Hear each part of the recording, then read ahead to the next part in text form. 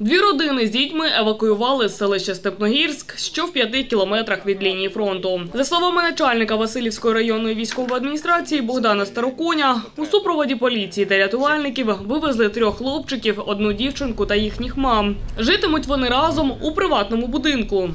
Одна родина проживала е, не в багатоповерхівці, а е, в приватному домоволодінні. Е, Якщо ви звернули увагу, ми також вивезли двох ко- кошенят. Бо малий цей вовчик е, сказав, без кошенят я не поїду. Поїхали з кошенятами.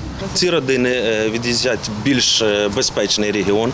Вони вибрали саме ту іншу область. Зараз туди поїхали наші також люди. Вони оглянуть цей будинок. Що буде необхідно для більш комфортного проживання.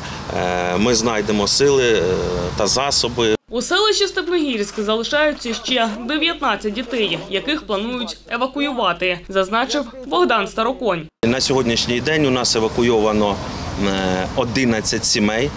Це понад 20 дітей. Кожний день ми планово е, здійснюємо евакуацію. Ми працюємо з кожною родиною, е, дізнаємося, чому вони не хочуть виїжджати. Е, На жаль, у нас є деякі родини, які відмовляються від'їжджати, але я думаю, що ми будемо працювати разом із поліцією і разом з іншими правоохоронними структурами щодо саме примусової евакуації. Бо дійсно е, кількість обстрілів збільшується, обстріли збільшуються саме по цим населеним пунктам, тому зберегти життя дітей це найголовніше. Нагадаємо, евакуація дітей оголошена у п'яти населених пунктах області, а саме у місті Гуляйполе, селах Преображенка, Єгорівка, Новопавлівка, а також селищі міського типу Степногірськ. Звідти впродовж 30 днів планують вивезти 54 дитини та 67 дорослих, які їх супроводжуватимуть, сказав Юрій Малашко.